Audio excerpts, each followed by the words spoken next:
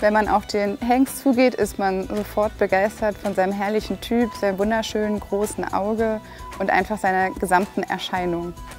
Ich saß tatsächlich erst einige wenige Male in seinem Sattel und dabei zeigte er sich höchst rittig und, was vor allem besonders hervorzuheben ist, sein ähm, wahnsinnig äh, gutes Interieur. Er ist immer leistungsbereit und lässt sich hervorragend arbeiten.